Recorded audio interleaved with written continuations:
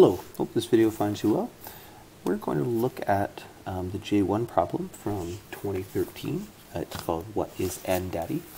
Um, this is a great problem because on the surface it seems really challenging and in some ways it is, but the, the inputs are such a small number that you can actually hard code this pretty easily.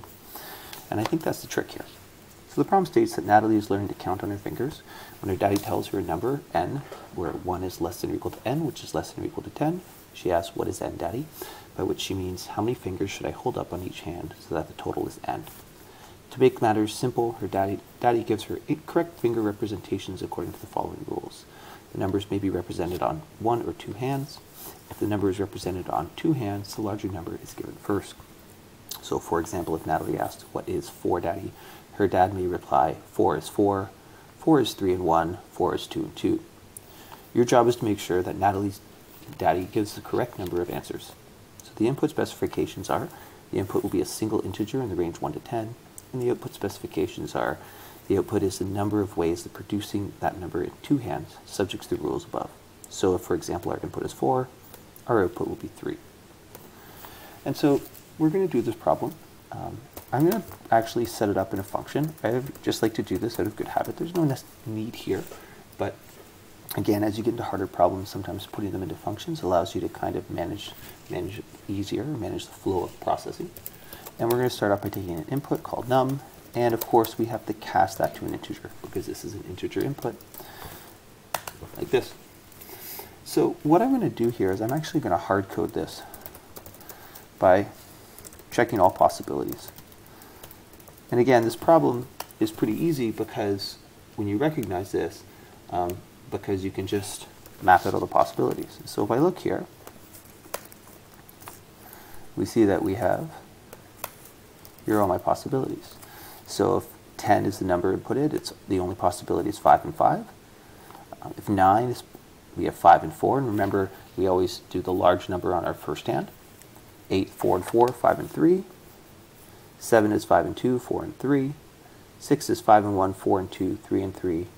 5 is 5 and 0, 4 and 1, and 3 and 2. 4 is 4 is 0, 3 and 1, 2 and 2.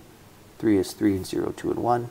2 is 2 and 0, 1 and 1. And 1 is 1 and 0.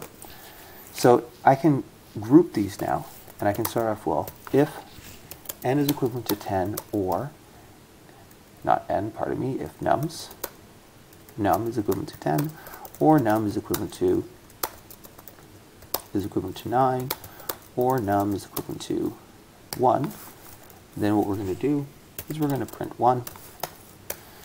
elif num is equivalent to 8, or num is equivalent to 7.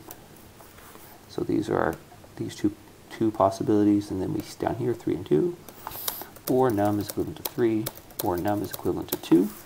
In that case, we're going to print 2 because there's two possibilities. elif num is equivalent to 6, or num is equivalent to 5, or num is equivalent to 4. In that case, we're going to print 3, because there's three possibilities here.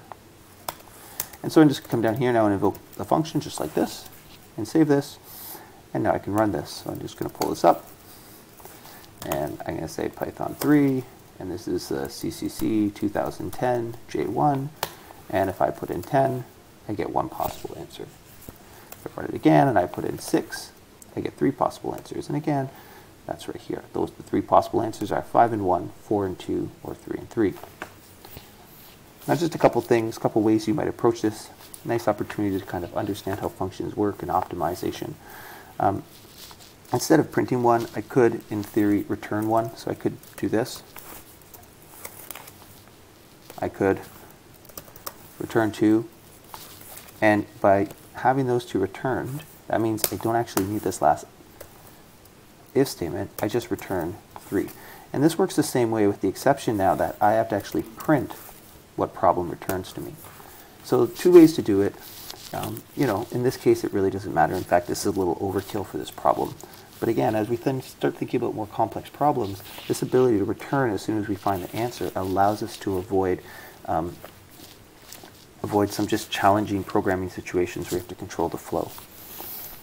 All right, so just let's save this and make sure it works. Um, let's put in 5, and we get 3, and that's confirmed there. I'm going to be honest in this case, I actually prefer what we had before, and the only change I would make to what we had before is I would just make this. Ooh, eventually I'll get this right. I just make this an else. There it is. I hope this video helps, and as always, if you have questions, please don't hesitate to reach out. Take care.